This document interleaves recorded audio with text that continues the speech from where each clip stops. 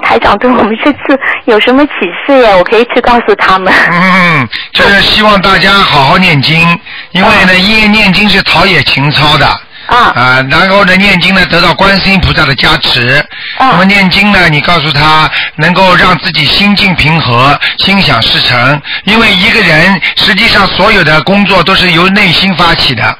嗯对不对啊？如果你的心不到，那么你的意念不到的话，你的行为也不会到。那么你任何的行为实际上是都是受控于你的灵魂，对不对啊？嗯那么你的灵魂如果越来越纯洁，那你的行为也会越来越纯洁，对不对？嗯如果你的灵魂越来越肮脏，那你做出来的事情越来越糟糕，嗯对不对啊？所以修心和修行要双修并进。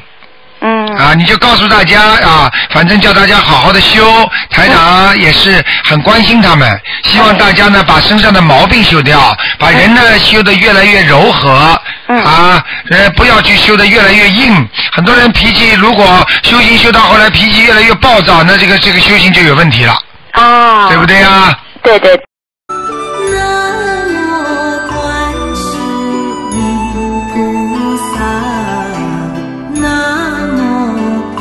观世音菩萨南无观世音菩萨。